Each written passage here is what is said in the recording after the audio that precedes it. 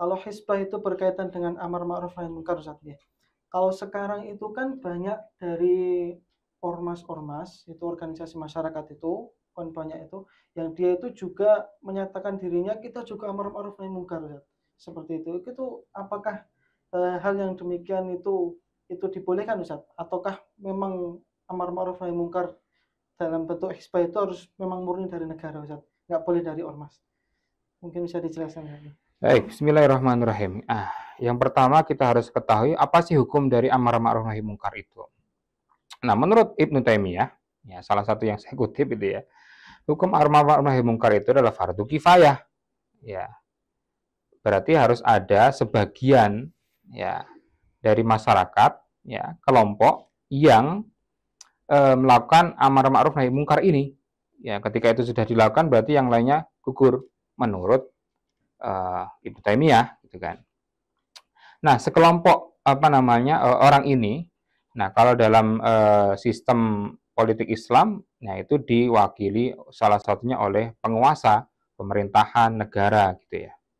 Yang mereka mempunyai organisasi-organisasi ya eh, pemerintah ya yang bertugas kaitannya dengan misalkan menjaga keamanan ya tegaknya hukum, keadilan, dan lain sebagainya. Salah satunya adalah kepolisian, ada pengadilan, ada namanya kalau sekarang itu adalah uh, apa namanya Komisi Pemberantasan Korupsi KPK itu juga bisa kita masukkan dalam konteks lembaga hisbah yang telah dicontohkan oleh Rasulullah SAW.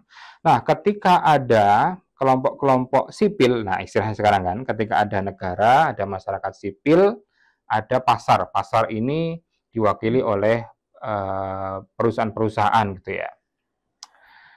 Uh, nah ini kita uh, harus melihat bahwasannya yang menjadi apa namanya uh, muhtasib tadi ya, menjadi pengawas, menjadi penjaga ya kemaslahatan itu yang melakukan amar ma'ruf nahi yang utamanya itu adalah uh, diwakili oleh negara ya karena e, tugas negara itu adalah men, apa namanya menjaga seluruh warga gitu kan.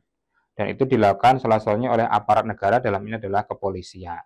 Maka kalau ada ormas-ormas yang ingin melakukan amar ma'ruf mungkar harusnya bekerja sama dengan polisi gitu kan. Nah gitu. Jadi polisi ya ini bertugas e, untuk menjaga keamanan dan ketertiban gitu kan. Kalau ada sekelompok masyarakat yang melanggar aturan negara misalkan. Ya. Nah, ini eh, kalau ada kita melihat ya laporkan ke polisi. Pertanyaannya Pak, kalau eh, atau pertanyaan gini Ustaz, kalau misalkan ini eh, aparat negara ini tidak bisa diandalkan, apakah kita bisa langsung melaksanakan amar ma'ruf nahi mungkar? Nah, kita kembalikan kepada kaidahnya bahwasanya walaupun negara itu sistemnya buruk ya, itu masih lebih baik daripada tidak ada aturan sama sekali, tidak ada negara sama sekali. Ya, jadi kita ambil eh, apa namanya eh, darurat yang lebih minimal gitu ya, sehingga apa? Tetap eh, kita harapkan kita sebagai eh, masyarakat, termasuk para ormas-ormas ini ya, ya, yang mereka mempunyai istilahnya itu paramiliter ya sayap organisasi paramiliter seperti kita di Muhammadiyah ada Kokam dan lain sebagainya itu ya. Nah itu tetap harus bekerja sama dengan pihak uh, aparat negara dalam ini kepolisian ketika melihat ada kemungkaran misalkan. Oh misalkan ada uh, uh, klub-klub malam yang tidak punya izin ya dan disinyalir ada tindak kemaksiatan dan lain sebagainya di sana. Nah, kita tidak bisa main hukum sendiri Meskipun tadi hadisnya adalah manro aminkum mungkaran fal yugarihu bi biyadihi. Ya. Karena apa? Kalau tidak dilakukan oleh aparat hukum, ya ini malah nanti akan terjadi apa namanya kekacauan yang ya, yang bisa ditimbulkan ya dampaknya itu malah lebih buruk gitu kan nah maka ya dilaporkan kita kerjasama gitu ya ya itu dan eh, kalau misalkan kita melihat itu tidak bisa berbuat apa pun ya turun lagi tadi. Seperti hadis tadi.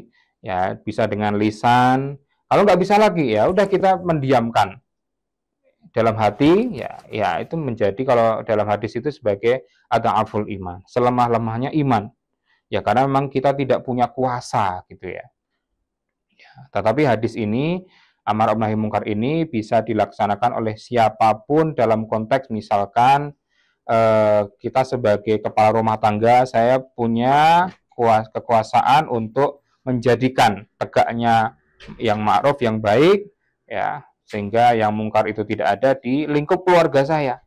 Ya. Tapi nanti kalau sudah kaitannya dengan ranah hukum, ya, ya di lingkup keluarga pun nanti bisa terkait dengan uh, aparat negara tadi yang dalam konteks lembaga hisbah itu masuk ya ke dalam lembaga hisbah ini gitu. Jadi uh, semacam itulah gitu ya, wallah alam biswab gitu.